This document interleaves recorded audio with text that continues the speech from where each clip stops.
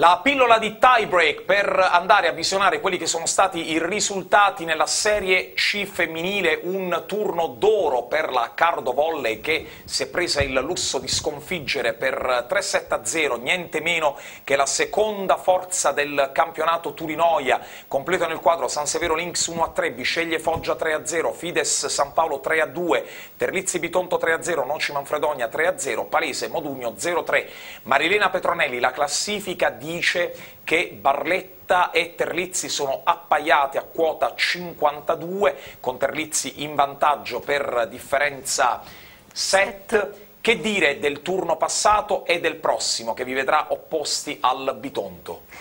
Eh, la partita che abbiamo disputato venerdì scorso io credo che sia stata una delle più belle partite disputate questo campionato.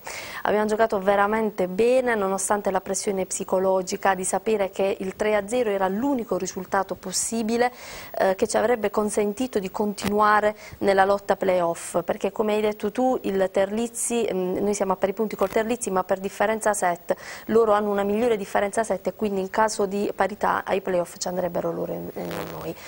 Uh, io sono contenta della prestazione delle ragazze, hanno giocato tutte quante uh, benissimo e sono contenta che questa prestazione così bella sia stata eh, svolta in casa dinanzi al nostro pubblico eh, in maniera tale che tutti possano aver visto qual è la forza dell'organico che siamo riusciti a costruire Ma anche il pubblico Marilena, io c'ero e posso dire che è davvero impressionante l'apporto che vi dà, sono incontenibili, veramente sì. complimenti. Eh, noi abbiamo cominciato, le prime partite di campionato eravamo veramente in pochi, poi pian piano con i risultati, anche grazie alla vostra trasmissione, alla, alla, alla pubblicità che siamo riusciti a fare, siamo riusciti a portare al palazzetto veramente tanta tanta gente. E adesso è bellissimo vedere le partite, le nostre partite, c'è un tifo splendido, ci sono dei ragazzi che ci seguono e ci seguono ovunque, anche in trasferta, a cui va ovviamente il nostro più grande ringraziamento.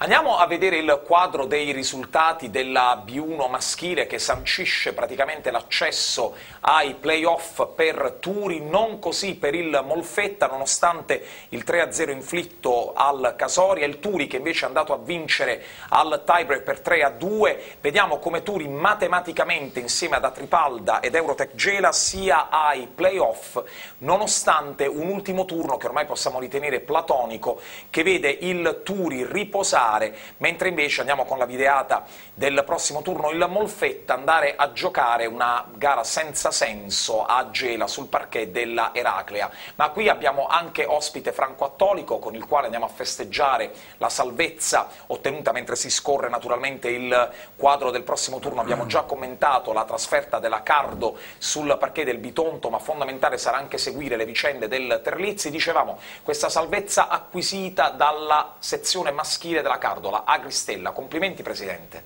Complimenti a loro, complimenti ai ragazzi che hanno accettato questa, questa sfida e ci sono, ci sono riusciti con tanta passione quindi complimenti a loro. Dunque ci saremo con il prossimo numero di Tiebreak per commentare l'ultimo turno con i verdetti finali sia in C femminile che in B1 maschile. Da Tiebreak è davvero tutto, al prossimo numero.